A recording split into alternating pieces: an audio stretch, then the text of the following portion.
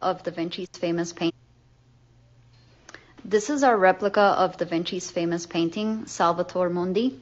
It is the uh, most expensive painting in the world, and it last sold for $450 million. There is a secret and a mystery that surrounds this painting. It actually went missing for a very long time, and it just recently resurfaced. Till this day, scientists and experts are still. Shalom, shalom. Call hello, Yahweh, Bahasham, Yahawashi, Bahasham, Rakakwadash. Just giving all praise to the Most High. In the name of His only begotten Son, in the name of the Holy Spirit. Double honors to our teachers, the elders, and apostles of great millstone who taught us His truth and truth and sincerity. Peace and salutations to the hopeful elect scattered abroad. My name is Ibar from the Prophets in Babylon camp down here in Tampa, Florida. Shalom to the 144,000.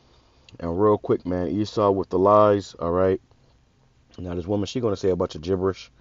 I'm not even going to play all that because, you know, it's just, it's just a bunch of madness. But um, I want to go into this picture right here, okay? And this is a replica, but the original painting, I guess. So she said it sold for 450 million for a false image, a false painting of the Lord, okay? The Lord, who you ignorantly call Jesus, his name is Yahawashi in the ancient Paleo or the, or the Paleo Hebrew, and he he looks nothing like this. Okay, this is not a this is not biblical. All right, so this is just a quick back to the basics because we're gonna show you what Lord looked like according to the Bible. All right, if in fact he was a Jew and the Jews were um, dark-skinned people. All right, and uh, Leonardo da Vinci, who painted this, let me play this back. This is our replica of Da Vinci's famous painting, Salvator Mundi. It is the uh, most expensive painting in the world, and it last sold for $450 million. It last sold for $450 million. She said it's the most expensive painting in the world for a false image of the Lord. Can you believe this?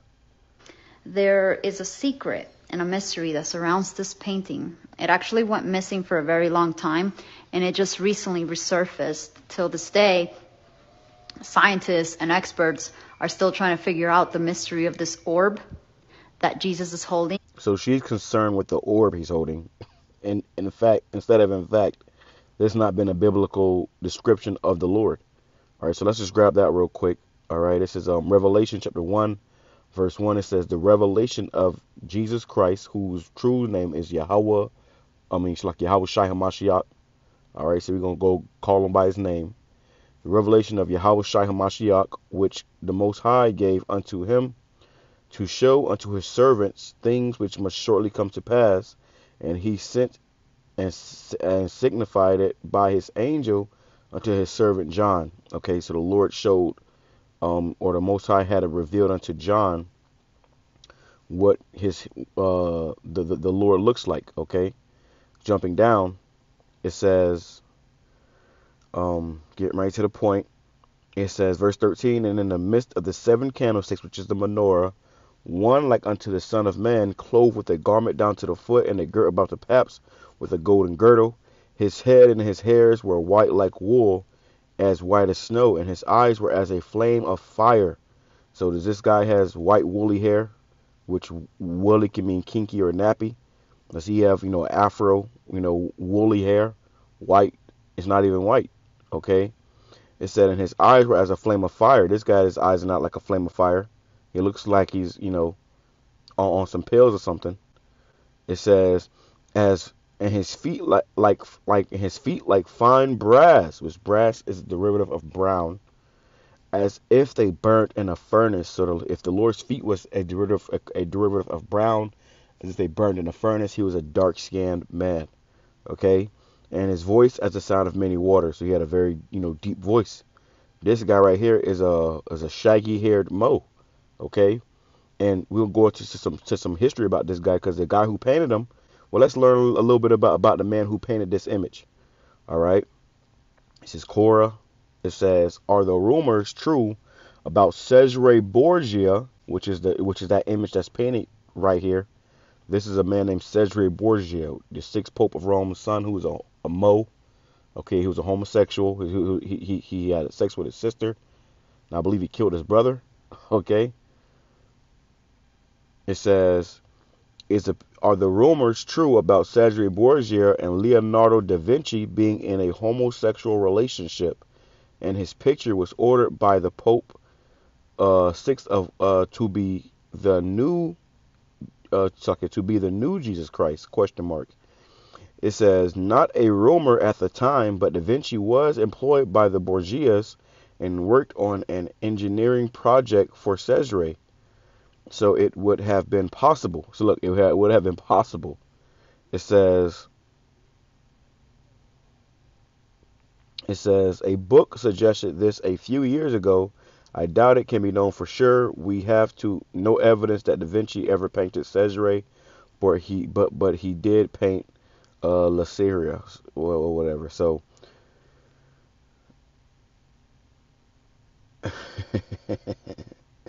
let me read this.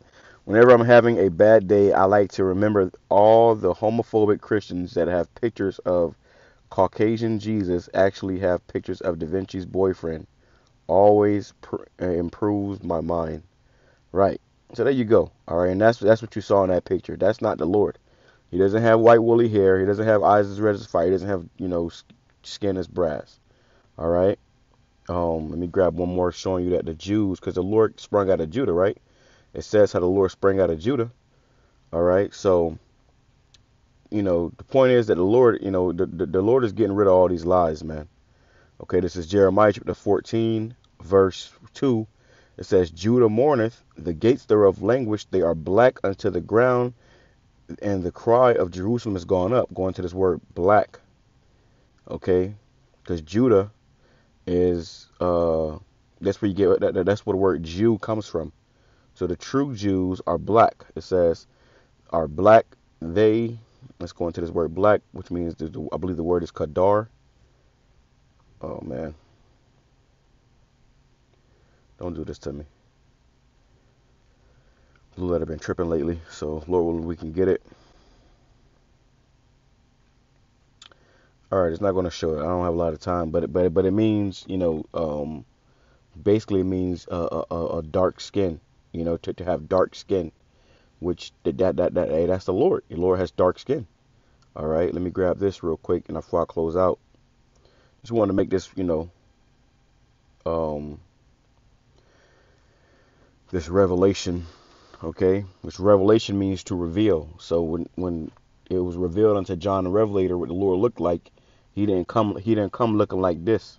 Okay, he didn't come looking like this, man. Okay, or like this. All right, that's that that's garbage. That's garbage, man. All right, and they they want a they want 400. Look at this. Look. Oh, they want 450 million dollars for that picture. That's the what it last sold for. That's madness. You got to be a total idiot to buy that picture, seeing as you have not read the Bible at all. It says Leonardo was very likely gay. That doesn't mean he is. He was. That doesn't mean he was screwing his patrons Cesare wasn't, or at least was more heterosexual given what we know about his life and how many children he had and how much a womanizer he was. Yeah, yeah, yeah, yeah. Really, all these Edomites go go both ways, okay, or one way. It says, yes, first of, of all, the Lord's name is not Jesus, bad trans, transliteration. Second, Yahushua, which is Yahweh was a light skinned black man. Okay. Original Hebrews had dark skin, so did the Egyptians. Okay, so you, are gonna get a little bit of truth in a, in, in a bunch of bullshit, you know, on these on, on, on, in these um in these questions or whatever, or, or in these answers. But we know the truth because it's in the scriptures. The scriptures tell us that the Lord had dark skin. All right, so let me close out with this right here. It's the second Ezra chapter 6, verse 27. For evil shall be put out, and deceit shall be quenched. And this is deceit. Okay, scripture talk about how they paint the likeness of their faces. Um, the heathen sought to paint the likeness of their faces. That they that's deceit, man. The deceit is going to be quenched. For as for faith, it shall flourish. Corruption shall be overcome, and the truth, which have been so long without fruit, shall be declared. And that's what's happening in the earth. The truth is being declared. Okay, let me grab this real quick because this this was that deceit. It says Maccabees chapter three verse uh, uh, forty eight, and laid open the book of the law, wherein the heathen, which is anybody who is not a Hebrew Israelite, Okay, if you're not an Israelite, you are a heathen, and uh, you know this is predominantly talking about these Hebrew Edomites. Okay, these heathens had sought to paint the likeness of their images, so they paint, they whitewash these images of, of the Lord and the patriarchs of the Bible, and they paint the likeness of their image. They made they made them look like them. Okay, that's why you get all these white images. Okay, or, or really red images. They've been whitewashed. Okay, let's bring this back. Truth shall flourish, and we'll close out because, you know, and and they, and they guessing whether whether the guy was a Moor or not. We already know. It says, "As for faith, it shall flourish. Corruption shall be overcome." And that was corruption. And the truth, which have been so long without fruit, shall be declared. All right. So the Israelites, the Lord, you know, they were all dark-skinned people. All right.